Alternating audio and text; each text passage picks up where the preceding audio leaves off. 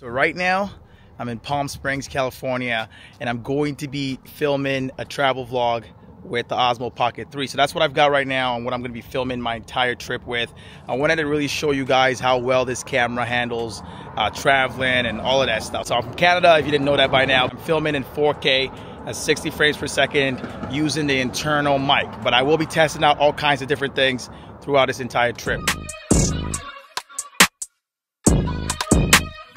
So about two years ago, I was here at Joshua Tree, and um, I came with a large DSLR camera. So it wasn't as easy to film uh, my trip. So I decided to come with Osmo Pocket this time, Osmo Pocket 3, and it's honestly been the easiest thing so far. I'm still filming in 4K at 60 frames per second, but this time I'm also um, filming in D-Log M. So the thing is with D-Log M, you have more creative freedom or just freedom in general while editing a video. It's a big thing if you understand what filming in a flat profile uh, can get you.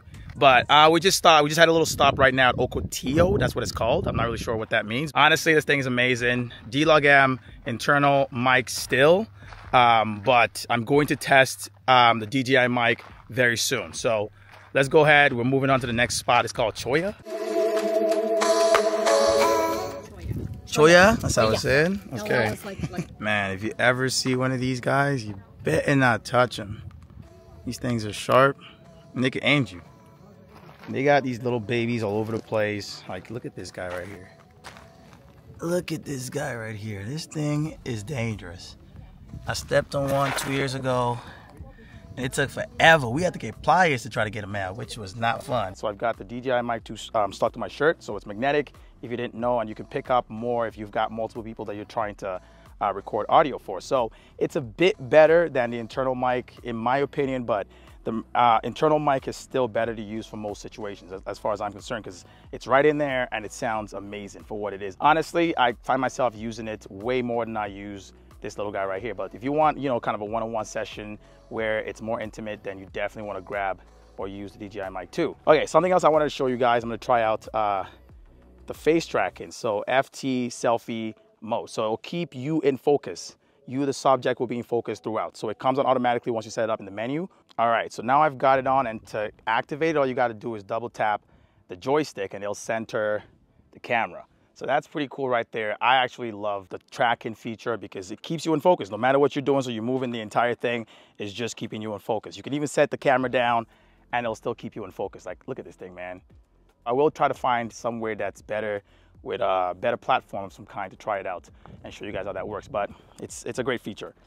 Okay, so one of the things I really don't like about this camera is the fact that it's not waterproof. So keep that in mind. Maybe it's gonna come in a future iteration or a future model, but right now it's not waterproof. So it's not something that I would bring out or take to somewhere that's wet. But I have used it around water, like in the snow and whatnot, but did definitely not dropped it into a bucket of water or, you know, a pile of snow. Not nothing like that. Just a little bit of stuff just, you know, on the screen and whatnot. But it's a feature that needs to come to something like this. Something else I've noticed is that it's not very durable feeling. Like the screen feels a bit flimsy, like if you, and, and also the gimbal, like if you, if you mess around with it too much, I feel like this thing might actually get damaged. So you gotta be careful with it when using it. I mean, I've not noticed anything. It hasn't been broken yet.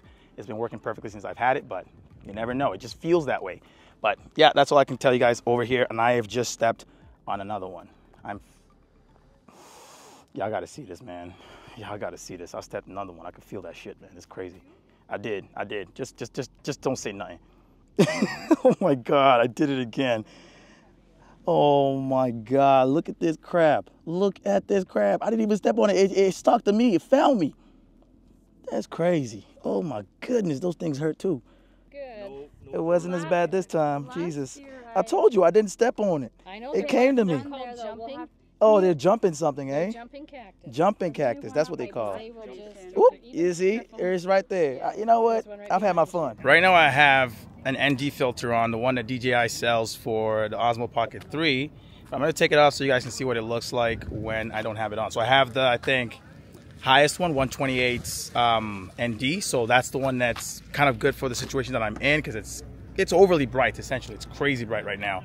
But uh, I'm gonna take it off so you guys can see what it looks like. So the depth wouldn't be um, as nice as you can see right now. So there's more bokeh around me with um, the lens on, so or with the sorry ND filter on. So I'm gonna take it off right now so we can see what it looks like. Whoops, I dropped it. Okay, so this is what it looks like without the ND filter or the glasses um, on anymore. So let me know what you guys think what um, about the difference between using the ND and not. Is it worth it or is it not? Okay, so we're somewhere that's a little less dangerous. So big rocks, more sights to see than anything, which is really cool. So I don't have to worry too much about those cacti anymore, which is awesome to say the least, because I have to watch my step the entire way through. I would definitely recommend it for somebody who enjoys traveling um, solo or goes around by themselves and never has anyone to film, but want to film their own trip.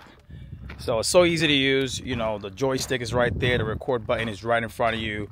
And you can pretty much switch between modes on the fly. I mean, you've also got the ND filters, which are like sunglasses for the lens. So you still get that creamy, crisp bokeh effect that you get with this guy. This has actually made me start filming more, which is something I never did with my DSLR cameras whenever I traveled. I would just keep it in the bag, or I travel with it, you know, bring all the lenses, bring everything, but never actually film anything because who wants to deal with all that bulk, for real?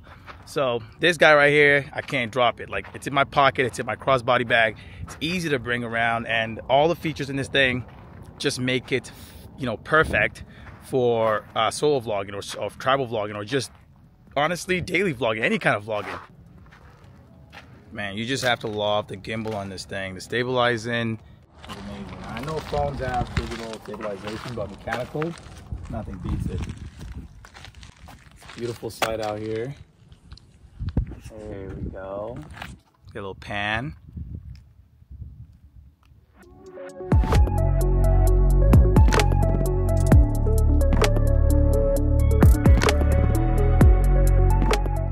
I know you guys can see that right now. It's just dark, but that's because you have to face the sun or wherever the source of light is if you want to have the best footage. But as you can see right now, it's a lot better. My face is well lit. That's because we got the sun coming in from that way. It's so easy to take B-roll shots on the fly because it's, like I said, got uh, a gimbal on it. So you can just switch different between different modes. There's tilt locked and there's the free flow and follow mode. So free flow and uh, follow mode is good for just general vlogging, keep the footage smooth and stabilized. But if you want um, more B-roll shots, then you want tilt locked, so it locks the tilt axis. All that's really holding you back is your creativity. And it films at 4K up to, I think, 120 frames per second, but I don't really use the 120 frames per second because it's a little handicapped. So I stay with 60 frames per second, and that works out well for me. So one of the coolest things about the DJI Mic 2 or using it with the Osmo Pocket 3 is that you don't have to worry about where the camera is situated. Like right now, I'm back in the camera. I'm walking away from it, and I'm able to capture clear and crisp audio. So I've got somebody filming filming me from behind, and I'm just talking. You know, I've got the mic stuck to my shirt right now, and it's just working phenomenally. It's one of my favorite things about it, and you can always pick up even more um, mics. I think you can connect about two of them to it, and it's all Bluetooth connection. Super easy to set up uh, which is really awesome. You can also store one of the mics on um, the cover case for the Osmo Pocket 3, so it's easy for you to bring around. Nature is beautiful. That's all I, that's all I got to tell you guys right now, man. Enjoy it while you can. You know, we only live for a short time, so get out there, see what's out there, take it in. That's what I'm doing. I don't have the, the little muffler or whatever they call it, which is supposed to help with the wind, so you're probably going to be hearing a bunch of wind noise. So something worth noting is that once you have the ND filter on um, stuck there magnetically, you can't have anything else on there. So you can't use other attachments like the ultra wide uh, magnetic lens or something like that. It's not really a lens, but it's something that makes the standard lens on this thing wider. So I can't put that on there once I have the ND filter on there because they're both using magnets. So Maybe they'll come come out with a better way to stack them on together, but right now they're not. Uh, it's not possible to use them both on at the same time. Hotel gym it is. I mean, it's not stacked with a whole bunch of weights, but this will have to do. got some mirrors, one or two benches, and what's the maximum weight they got? 50 pounds. I'm gonna get my workout in. I don't need a uh, to train crazy anyway, so this should be good enough. They got some towels, they got water over here, which is good. But um, yeah, I got my music. I'm gonna hit the little station over there.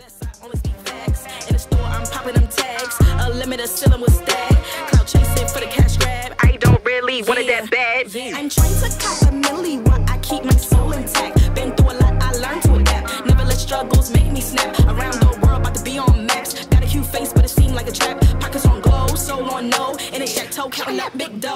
your spirit on the gurney, by the plateau. Snake in the grass, read what you sow. Lurking in leaves, hiding in trees. Spotlight on now, you can't sneak. Lip online, now you can't speak. You a real one out here moving weak. Private jet, don't take care of your. Audacity, two step to me. You want it, gotta work for that bag. Go get it one day, you can brag. You want it, gotta work for that bag. Go get it one day, you can brag. You want it, gotta work for that bag. Go get it one day, you can brag.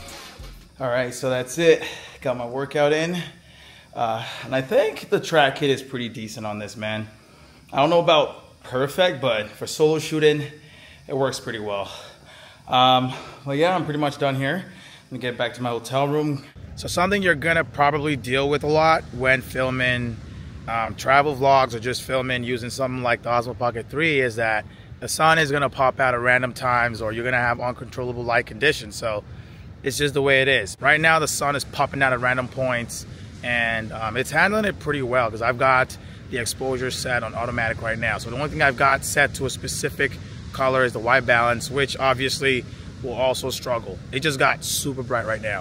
All right, I'm throwing on the ultra wide lens because I can't have it on at the same time as I have um, the ND filter. So I can only throw this on. And that's what it would look like with um, with it on, you know what I mean? So it's a lot more. You're able to hold the camera right in front of you a little bit closer and still get more. But personally, I prefer the um, normal, the standard lens that's already on it. It just looks a little bit better. I can notice it, but some people might not be able to notice it. So if I take it off, that's what that looks like without um, the ultra wide filter or lens, uh, and now with the lens. Let me know down in the comment section if you guys think it's worth it to use um, the ultra wide lens or just go ahead and use the standard all the time. I hope that DJI does add more variants or more varieties um, of this lens because honestly, it's kind of limited. So I still have the ultra wide lens on right now. It's actually really good to use when you want to capture multiple people or get to people in scene.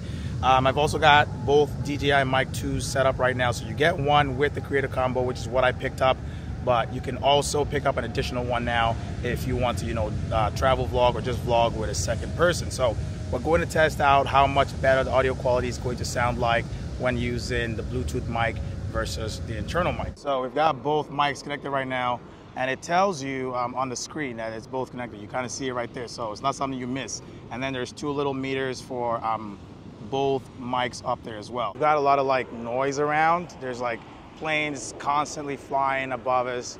So this is a good way for you guys to hear what it sounds like. This, I mean, there's a lot better beaches here, but this was like five minutes from our hotel. And we have a flight to catch in a bit, so. Just the way to oh, end. Look at the shells. Just the way to end the trip. Maybe I'm gonna start me a collection. Ew. Yeah, that's nasty. Nah. Too late now, I grabbed it. The beach, you're on a beach, yeah. you're by the water, you know? Exactly. This is what you'd expect. I'm gonna take off this ultra wide lens. Well, Hannah said there's a big wave coming in soon, no. so I'm just stepping back. You know, the black in me big. say step back. Don't get took. There, there it was. was that? I said there it was, but. Yeah, it wasn't a big wave. No. Pretty bright out here. I've decided to take off um, the ultra wide lens and switch the ND filter, I think 128, whatever the highest level is that you can get with um, the pack you pick up from DJI. So I still have my mic on, Hannah still has hers on right behind there, so we're still using that setup, but I've changed a couple things. I've now turned on noise reduction, which is a feature you can turn on directly through the Osmo Pocket 3's um, DJI Mic 2 menu. So I don't know, let me know what it sounds like, if it's a lot better. We're still in the same area, it's still noisy out here, so let me know if it's a lot better and if it's like, you know, worth it to turn on noise reduction uh, or not. So we're at maximum zoom right now, digital zoom. Anna's gonna go try to catch a seagull. You scared them. she scared them.